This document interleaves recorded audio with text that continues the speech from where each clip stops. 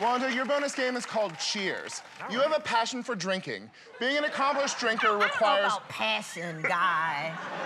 Being an accomplished drinker requires one to be ready with a toast for every occasion.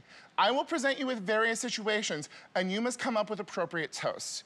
You will be judged on the following three factors brevity, dabbing of an invisible tear, and insisting that everyone in the bar make eye contact. Okay. Let me. You want me, you want me to do this? I remember the last Yes, time you're you much poured. better, The yes. last time you poured, uh, you know, I think I should take care of this. Boom. Okay, let's do it. All right, let's get 45 seconds on the clock, please. Okay. Let's begin. Tacos are half off at happy hour. Woo! I'm rich and cheap. Cheers. Your friend just passed the bar exam. Cheers. Black Lives Matter. Your twins just got into a fancy private school. Uh, cheers. Thank God for those cheap tacos. Charlize Theron just moved into the house next to you. cheers to an open marriage. It's your ninth wedding anniversary. Is it? cheers to Amazon Prime. A good friend just had bad plastic surgery.